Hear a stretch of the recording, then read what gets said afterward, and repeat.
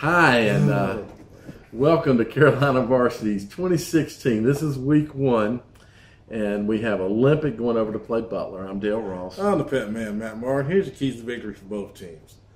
For Olympic, you got to find a way to control that uh, Butler defensive line. I saw them against uh, South Meck, and they really just controlled um, the majority of that scrimmage. Mm-hmm. Um, big D tackle Maurice McLean was impressive, unblockable at some times. Coach Hales uh, even shouted him out in his interview afterward, uh, saying how well he played. Mm-hmm. So you got to find a way in that wing T to maybe take advantage of the way they're being so aggressive up front.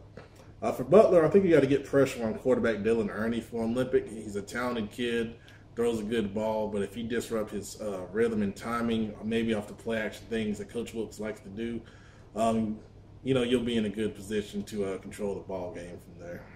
Okay, I think um, for this ball game, Olympic just needs to try to find a way to shorten the game.